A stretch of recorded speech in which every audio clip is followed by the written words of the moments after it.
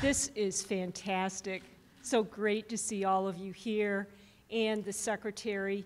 You're you. uh, actually our 11th speaker Oh. in this series, and we are just absolutely honored and delighted that you could come uh, here today. We've got great sponsors for these uh, uh, speaker events that we've had. Uh, As you see on the front of your uh, program, just take a look, and if you see anyone from those organizations, please give them a special thank you. This has been uh, just a great series.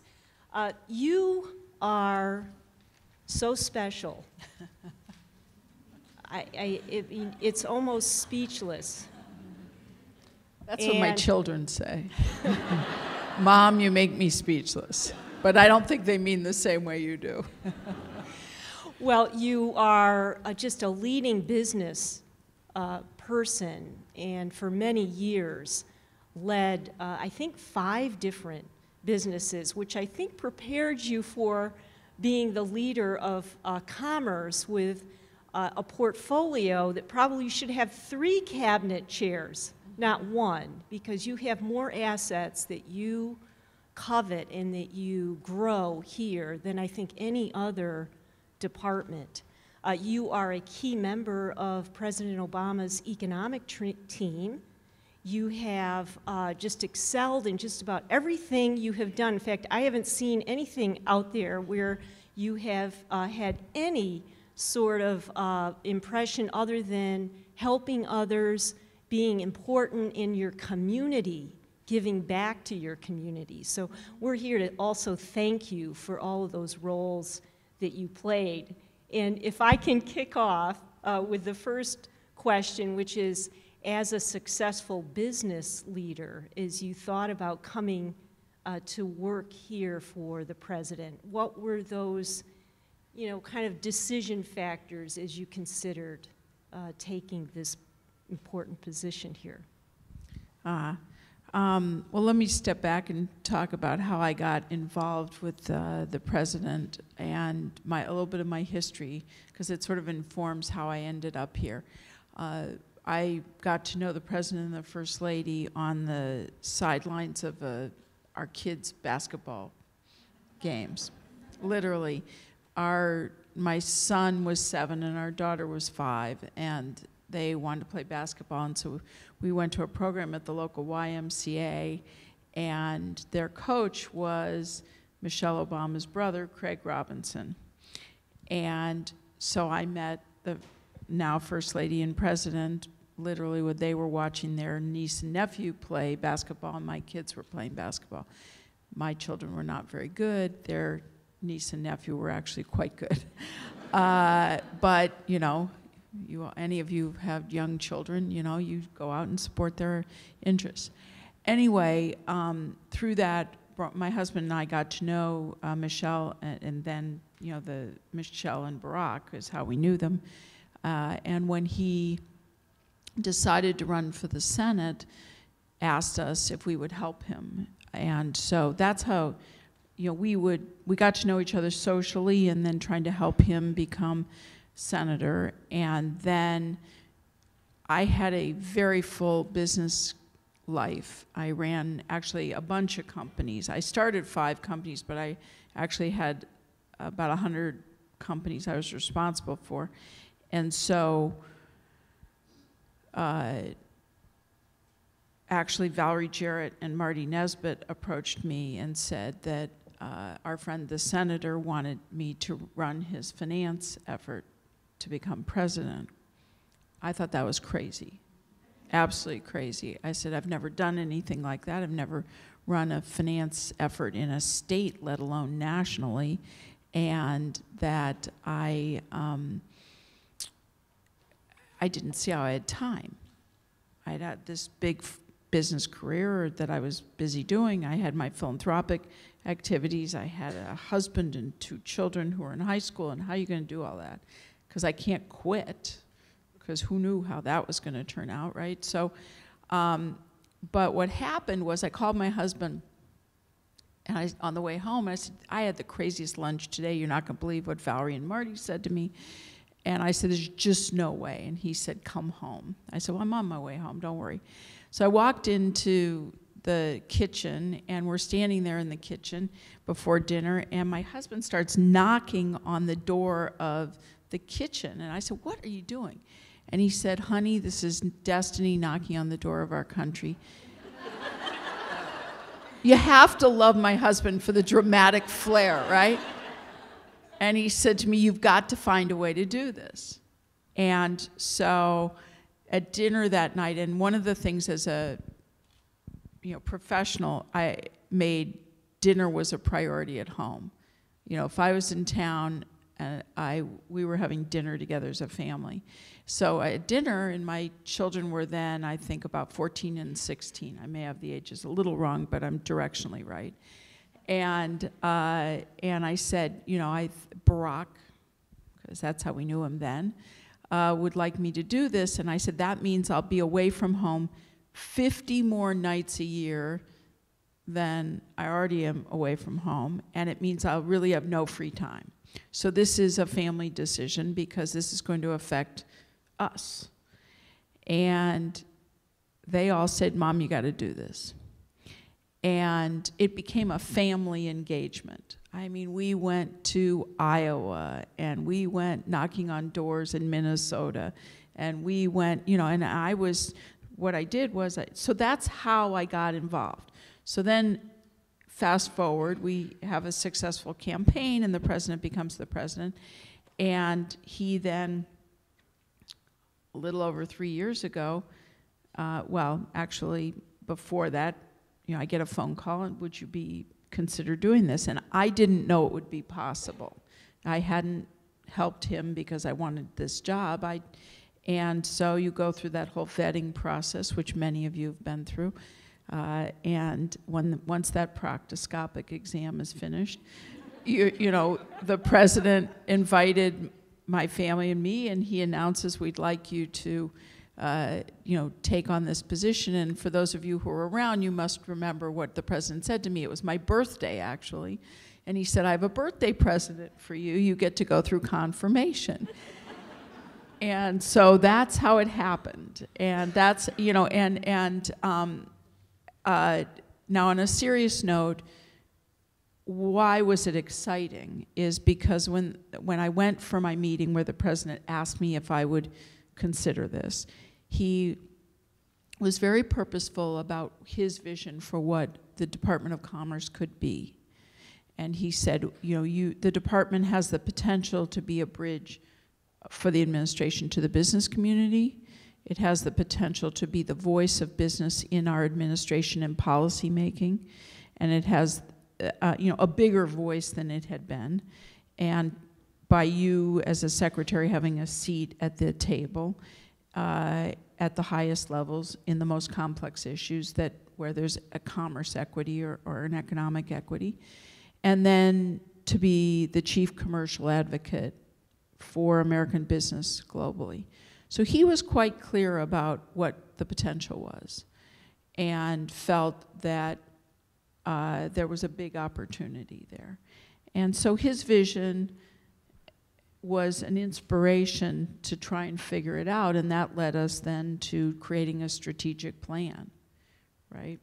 So, and Secretary, I think there, I think we'd all be interested in hearing a little bit about as you made that decision, going from the private sector into a leadership role here in the administration what factors did you think through? And then as you came here, uh, the effort you made around the strategic plan. Could you talk a little bit about that? Well, as you, um, since we work with the business community, most, most of my friends were, or not friends, but some of my colleagues counseled me that this would be frustrating and difficult and, you know, why you want to do that? Why would you leave? you know, all the glory of running a business or all the ex that excitement to do this. And um, they thought the bureaucracy and the, and the politics would frustrate me. Um, but I didn't see it that way. First of all, I grew up, like I think most of us in this room, in a culture in my, my household of, you know, there's no greater responsibility than serving your community or your country. And to whom much is given, much is expected. And so if the President of the United States thinks you can contribute to help him or her um, uh, run our country better, you know, how arrogant to think that that's not an important thing to try to do, right? So I felt very humbled by the ask, and um, but then the okay, then you say, okay, I want to try to do this. Now, how do you do it? And I've found this. I'll just I'll go to the bottom line. I found this to be extraordinary. I have loved every minute of this job, even when I'm frustrated or I, you know, am am exasperated at times as we're, you know, sorting through how to get things done. The challenge, the the things that we get to help try and resolve, it's extraordinary.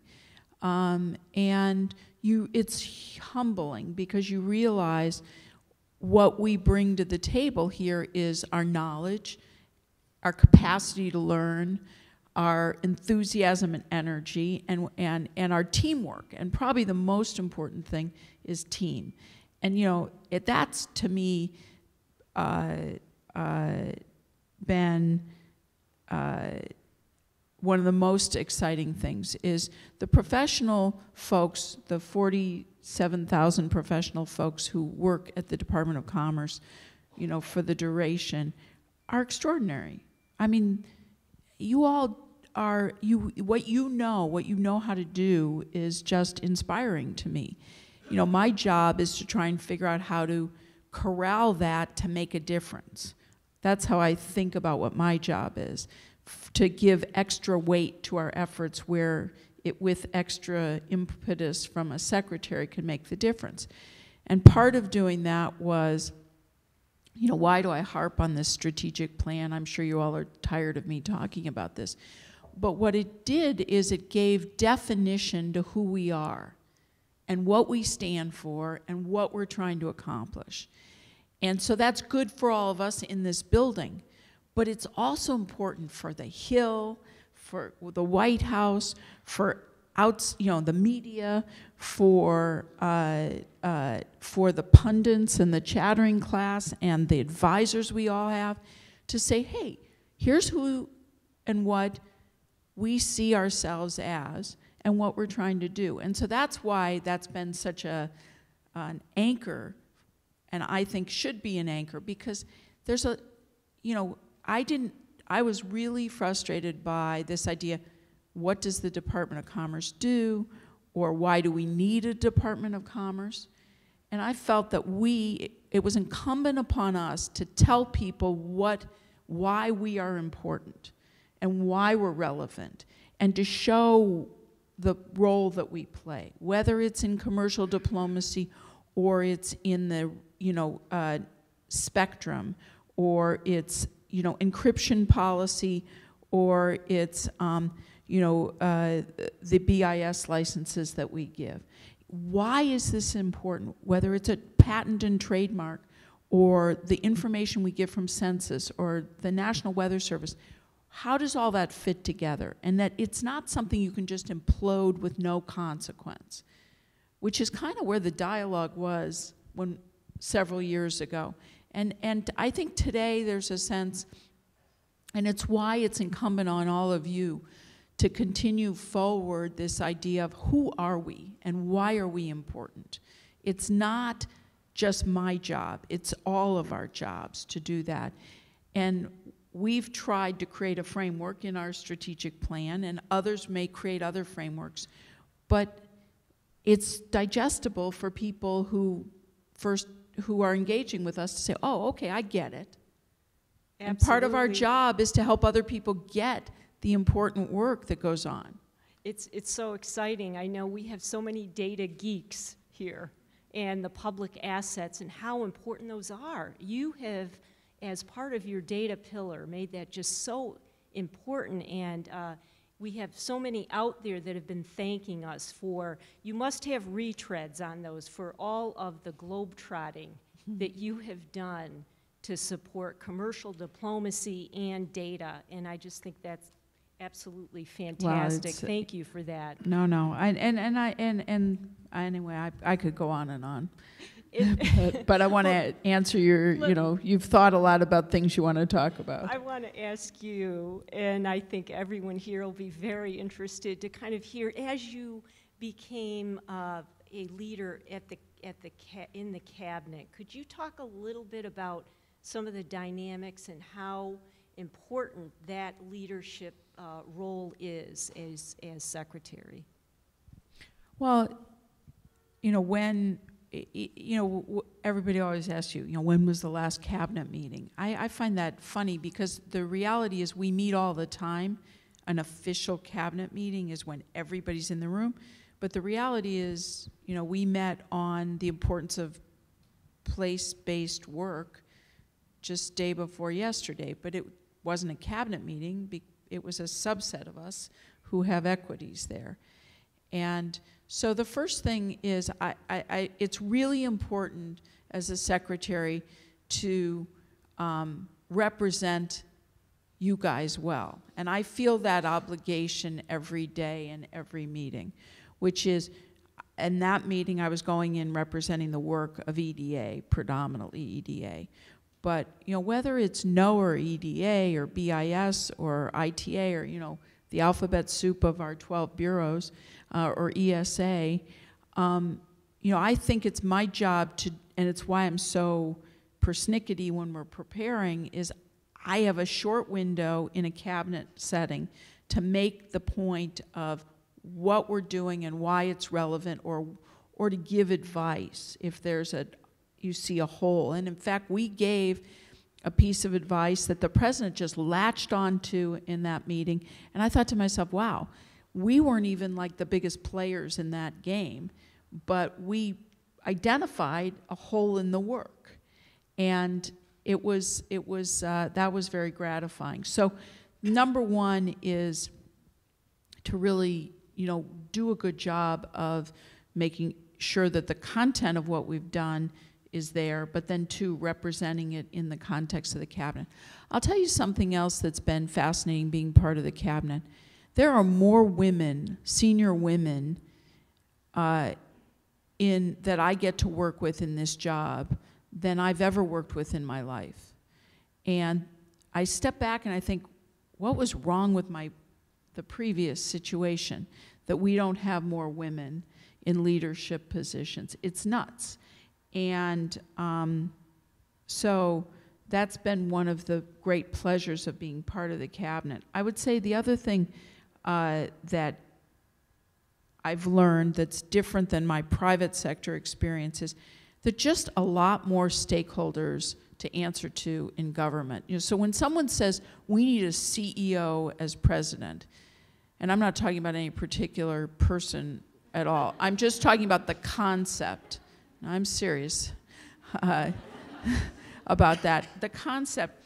I think you need to recognize, and I've learned this in this job, is you know, as a CEO, you have shareholders, you have customers, you have employees, and you have your supply chain and things like that. But the number of stakeholders that you have in government is much broader and more dimensions to it. And it makes it harder. It's harder to get things done. Um, having said that, we do need more compromise in general. But, uh, you know, if you think about that, that's another thing that I've learned as being part of the cabinet. Um, I'll tell you the third thing I've learned, and I talk about this always, is the quality and the talent of people in government.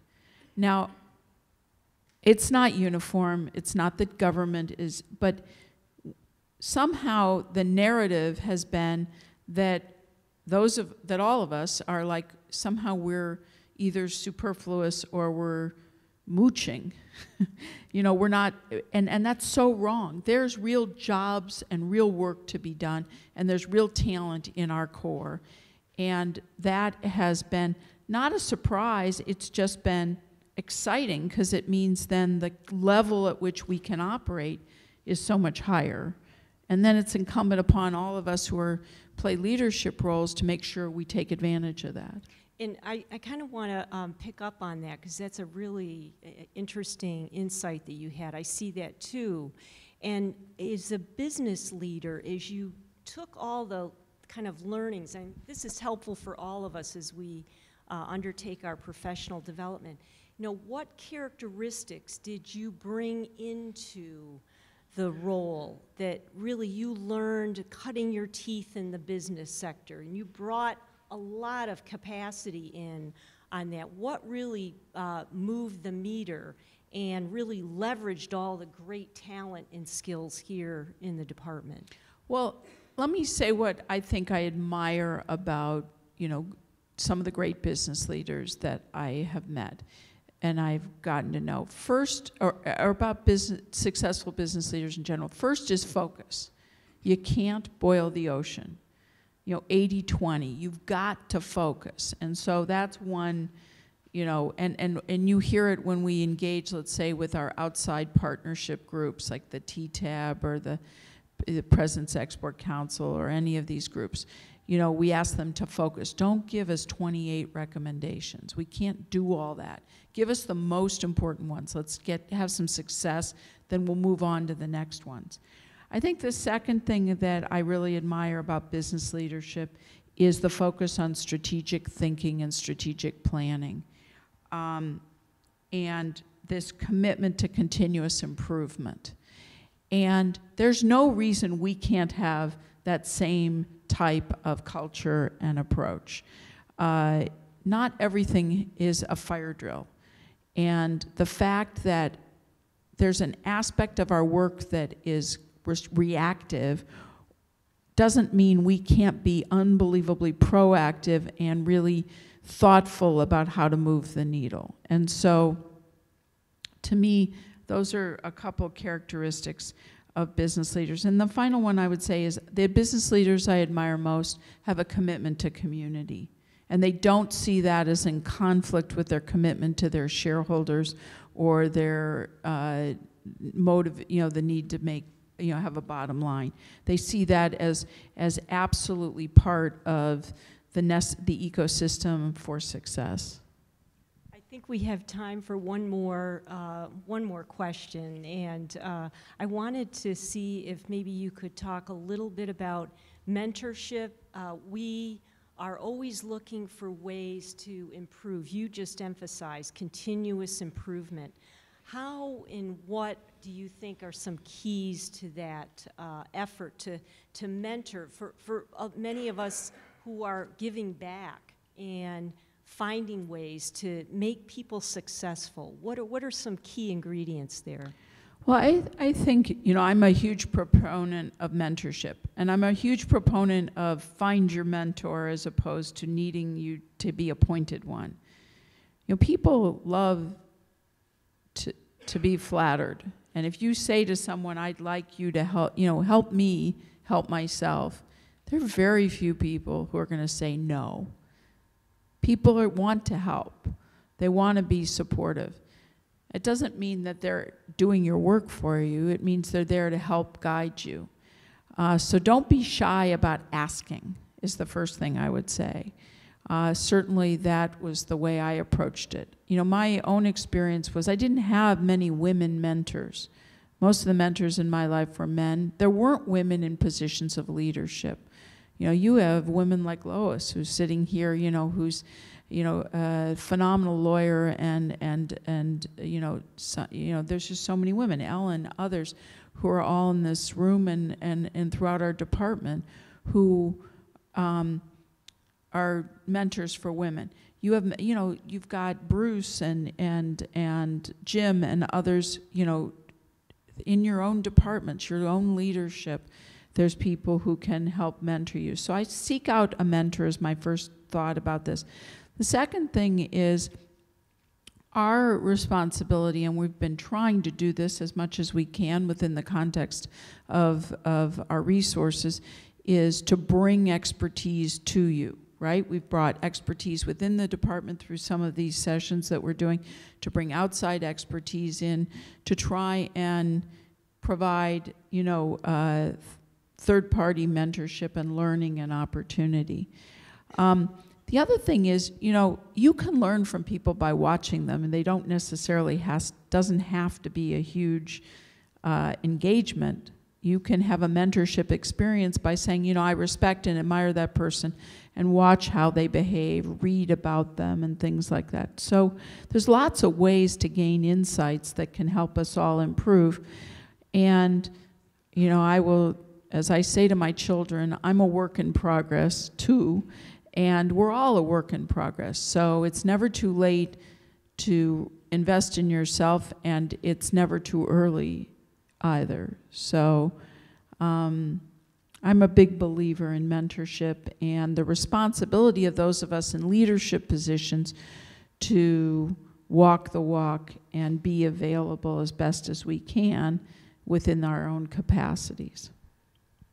It's great. Well, I want to thank all of you for coming uh, today. This is just absolutely wonderful that we've had an opportunity uh, to hear from you, and we have so much to thank you for.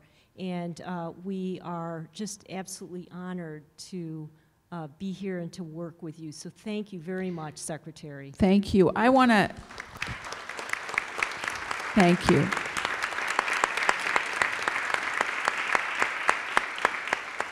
I just want to say two things. First of all, Ellen, thank you. Thank you, this was for doing this. But thank you for joining the Department of Commerce. You've brought a real sense of energy and breadth to uh, uh, the Chief Economist's office, and uh, your team has been a great uh, source of uh, support and information that has helped us, the entire department, do our work better. So thank you for your work. We're really pleased uh, that you've been such a great uh, part of our leadership team. So thank you very much. Um, and I just want to say, nothing is possible without team. And you guys are a great team. I am honored. I love working here. I love working with you. And I love the teams that you form within your own working groups to, uh, to accomplish the wide, vast variety of things that we do. And so I'm very proud to be a part of the Department of Commerce.